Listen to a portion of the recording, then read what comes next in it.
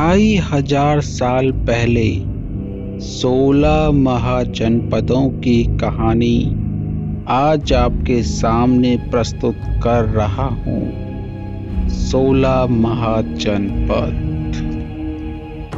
बुद्ध और महावीर से पहले छठी शताब्दी ईसा पूर्व में अस्तित्व में आए ये सोलह महाजनपद। ये कौन कौन से जनपद और क्या था इनका नाम और क्या थी इनकी राजधानियाँ, ये सब बताएँगे आज की वीडियो में।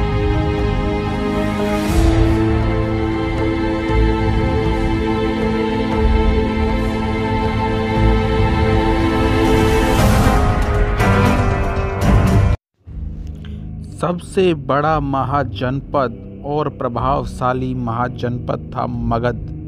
जिसकी राजधानी थी राजगीर और वर्तमान में जो गया और पटना के बीच पड़ती है, उसके बाद अंगा, जिसकी उस वक्त की राजधानी थी चंपा, जो वर्तमान में मुंगेर और भागलपुर के बीच है।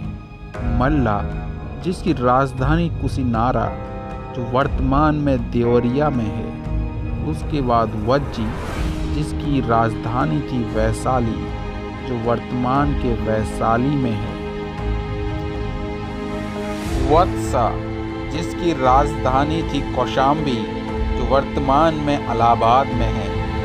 कौशाला, जिसकी राजधानी थी श्रावस्ती, और काशी, जिसकी राजधानी थी बनारस, जो कि वर्तमान का बनारस है।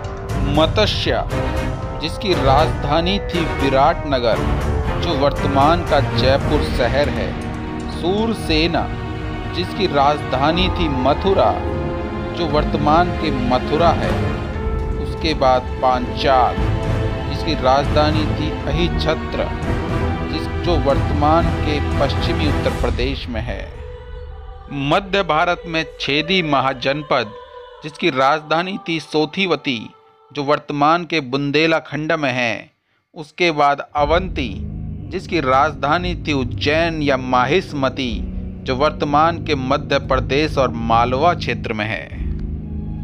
दक्षिण भारत के महाजनपदों में सबसे प्राचीन महाजनपद है अस्मा का, जो कि प्रतिष्ठान जिसकी राजधानी थी और वर्तमान में वो गोदावरी नदी के किनारे है।